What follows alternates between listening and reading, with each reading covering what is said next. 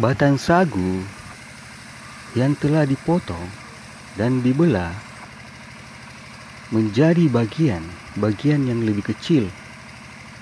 Kemudian diparut menggunakan mesin parut.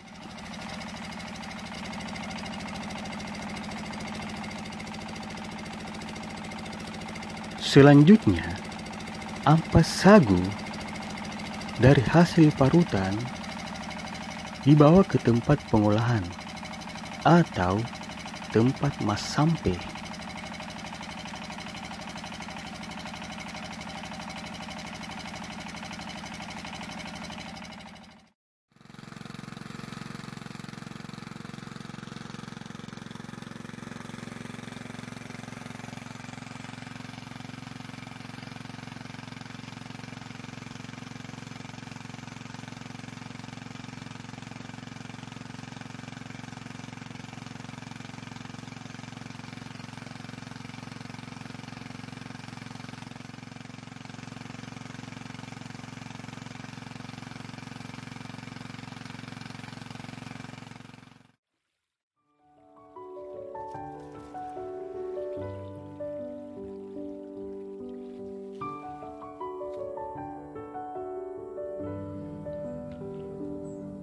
Mas sampai adalah suatu aktivitas atau proses pengambilan dan pengendapan pati atau tepung sagu.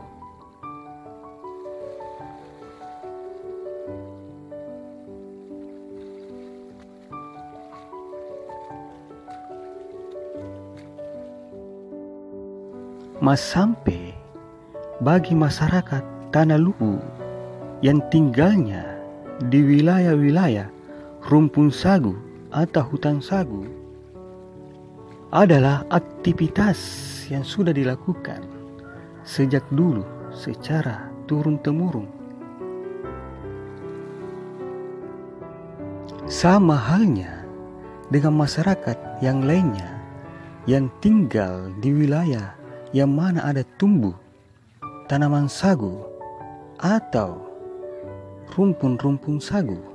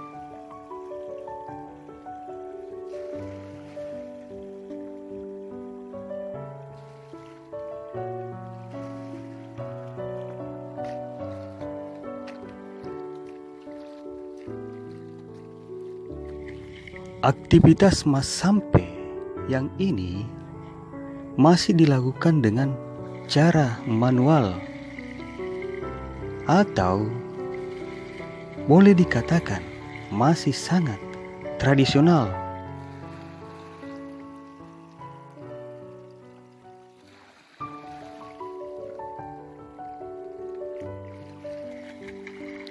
Dan endapan pati sagu ini yang diambil untuk dijadikan berbagai macam olahan makanan atau penganan yang berbahan dasar sagu.